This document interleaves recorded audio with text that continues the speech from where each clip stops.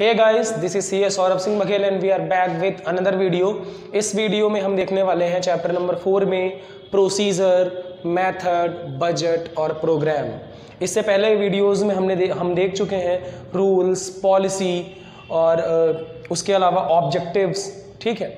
इस वीडियो में हम शुरू करने वाले हैं इन चार को देखने वाले हैं। ये चैप्टर नंबर फोर के लिए लास्ट वीडियो है I think so procedure so procedure का मीनिंग है procedure is a chronological sequence of various steps to be taken in the order to perform an activity बड़ी खतरनाक इंग्लिश है। Chronological sequence देखो, मान लीजिए कि आपको क्या करना है? कंपनी के लिए गुड्स परचेस करना है। तो गुड्स परचेस करना है तो क्या ऐसा करेंगे कि डायरेक्टली जाएँगे एक शॉप पर, वहाँ से परचेस कर लेंगे। रॉ मटेरियल परचेस करना है तो क्या डायरेक्टली एक शॉप से जाके परचेस कर लेंगे? ऐसा नहीं करेंगे। क्या करेंगे? हम वेरियस सप्लायर्स से उनका कोटेशन मंगाएँगे, फिर उनके कोटेशंस को कंपेयर करेंगे, फिर कोटेशन में कंपेयर करने के बाद बेस्ट जो हमें लगेगा, उसको ऑर्डर देंगे। ऑर्डर के बाद गुड्स आएगा गुड्स का इंस्पेक्शन करेंगे और उसके बाद पेमेंट रिलीज़ करेंगे। So this is the procedure step wise approach to complete a task is known as procedure so procedure is a chronological sequence एक स्टेप वाइज अप्रोच है of various steps to be taken in order to perform an activity इसमें example लिखा है procedure for purchase of goods procedure for selection of employees इसके लिए भी procedure हो सकता है कैसे? पहले हम उनसे एप्लीकेशन मंगाएँगे, पहले हम एडवर्टीजमेंट देंगे, फिर एप्लीकेशन आएगा, फिर उनके इंटरव्यूज़ होंगे इंटरव्यूज़ के कितने राउंड्स होंगे, ये सब डिसाइड करने के बाद फिर उनका अपॉइंटमेंट होगा अपॉइंटमेंट के बाद उनको ट्रेनिंग दी जाएगी। तो इस तरह की चीज़ें सॉरी सिलेक्शन होगा, फिर उनको ट्रेनिंग दी जाएगी, फिर उनका अपॉइंटमेंट होगा। तो ये प्रोसीजर कहाँ पर आता है? This is the basically this is the procedure for selection of employee ये प्रोसीजर उसके अलावा क्या हो सकता है? For the collection from debtors हमने किसी को गुड्स उधार बेचा, उसके लिए कलेक्शन में हम भी उसके लिए प्रोसीजर डिसाइड कर सकते हैं। जैसे कि पहले उसको टेलीफोनिक कन्वर्सेशन किया जाएगा रिमाइंडर दिया जाएगा, उसके बाद वो नहीं मानता तो पहले उसको लेटर लिखेंगे, पहले उससे रिक्वेस्ट करेंगे हम्बली उसके बाद दूसरा लेटर लिखेंगे जिसमें उसको पेमेंट करने के लिए बोला जाएगा, और तीसरे लेटर में हम बोलेंगे कि if have not paid amount within the 15 days और 7 days you have to face the legal consequences तो इस तरह से रिकवरी का एक तरीका हो सकता है। So procedure step wise approach है किसी भी एक्टिविटी को परफॉर्म करने के लिए। अब देखते हैं method method is a prescribed process in which a particular activity is performed method क्या है? मेथड को हिंदी में कहते हैं विधि। विधि क्या होता है? एक बताया गया तरीका जिसके थ्रू आपको क्या करना है, कोई भी एक्टिविटी फिनिश करनी है। फॉर एग्ज़ाम्पल आपके ऑर्गेनाइजेशन में स्टॉक है। तो स्टॉक के वैल्यूएशन की कई मेथड्स अवेलेबल हैं।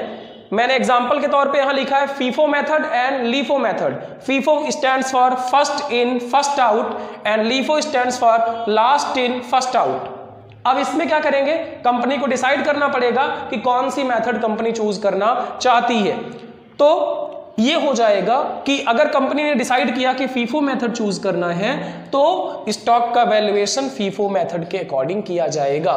तो एक प्रेस्क्राइब्ड प्रोसेस है, जिसमें कोई भी एक्टिविटी की जाती है। इसके अलावा आपने इलेवेंथ में पढ़ा होगा methods for depreciation straight line method और written down value method W straight line method में पर एनम डेप्रिसिएशन इक्वल होता है डब्ल्यू मेथड में डेप्रिसिएशन रिड्यूसिंग बैलेंस पे लगता है मतलब पहले साल डेप्रिसिएशन ज़्यादा होगा, उसके बाद कम हो जाएगा। तो मेथड कौन सा चूज़ करना है, ये डिपेंड करता है ऑर्गेनाइजेशन पे। अगर आपका मेथड अच्छा है तो आपके ऑर्गेनाइजेशन के लिए फंक्शनिंग थोड़ी स्मूथ हो जाएगी। अदरवाइज़ बेकार मेथड चूज़ करने पर आपके लिए मुसीबतें हो सकती हैं। उसके बाद आते हैं बजट पर। बजट बजट के बारे में आपका इकोनॉमिक्स में भी है economy and government budget so budget is a statement of expected result budget is always futuristic. Budget कभी भी नहीं हो सकता पिछले साल का बनाया। बजट हमेशा आगे के लिए बनाया जाएगा। So budget is a statement of expected result expressed in numerical terms budget की एक खास बात यह होती है कि बजट ऑलवेज न्यूमेरिकल टर्म्स में बनाया जाता है। And budget over the specific period of time के लिए ही बनाया जाएगा। मतलब आगे तीन महीने के लिए छह महीने के लिए एक साल के लिए ही बजट बनाया जाता है। So budget is expected result for example आप एक कंपनी में काम करते हैं और कंपनी ने सोचा कि हम अगले साल एक साल के अंदर एक लाख यूनिट प्रोडक्शन करेंगे। तो ये क्या हुआ? कंपनी का प्रोडक्शन बजट उसके अलावा कंपनी ने सोचा कि हम 70,000 यूनिट्स एक साल में सेल कर देंगे। ये कंपनी का हुआ सेल्स बजट इसकी इसी तरह से कंपनी क्या करती है? कैश बजट भी बनाती है कि आगे एक साल में हमारे पास कितना कैश का इनफ्लो होगा और कितना कैश का आउटफ्लो होगा। अब बजट से होता क्या है? बजट बनाने का फ़ायदा क्या होता है? बजट आपको कंपैरिजन के लिए बेसिस देता है कि आप अपने एक्चुअल रिज़ल्ट को बजटेड रिज़ल्ट से कंपेयर कर सके। मतलब आपने बजट बनाया, मान लीजिए कि हम एक साल में एक लाख यूनिट का प्रोडक्शन करना चाहते हैं। और आपका एक्चुअल प्रोडक्शन हुआ 80,000 unit so you can compare your actual result with your budgeted result आप एक्सपेक्टेड रिज़ल्ट से अपने एक्चुअल का कंपैरिजन कर सकते हैं और अगले साल के लिए आप जो गलतियाँ हुई हैं उसको सुधारने की कोशिश भी कर सकते हैं। तो बेसिकली बजट आपको क्या करता है? हेल्प करता है कंपैरिजन करने के लिए। और उसके बाद है आपका प्रोग्राम देखिए, सारा कुछ बना लिया हमने ऑब्जेक्टिव डिसाइड कर लिया रूल्स बना लिए पॉलिसीज़ बना ली स्ट्रेटजीज बना ली, उसके बाद मेथड डिसाइड कर ली प्रोसीजर डिसाइड कर लिया। अब इन सबको कंबाइन करके, इन सबको कंबाइन करके हमने क्या किया कि इस तरीके से उसको डिज़ाइन किया, इन सबको कंबाइन करने के बाद कि हमारे ऑर्गेनाइजेशन में काम जो है वो सिस्टमैटिक तरीके से होने लगे। तो देखते हैं प्रोग्राम के बारे में। Program is a combination of objectives policies, procedures, rules and other elements which are designed to get a systematic working in the organization. For example, company के यहाँ पर एक पॉलिसी है कि कंपनी नए वर्कर्स जब आते हैं तो उनको मैंडेटरी ट्रेनिंग देती है।